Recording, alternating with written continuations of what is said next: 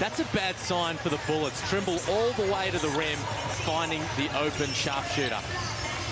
He won the three-point contest at the Blitz, and we know that Cadee can shoot the three as well. Still we wait. Here's oh. Cadee running onto a pass from Sobey, a beautiful ball.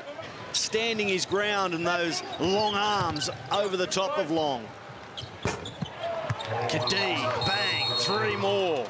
Offensive last, so yeah, it was a frustrating first half. Two straight possessions lead to Trimble three-point makes. He tries to get one back here and he gets it.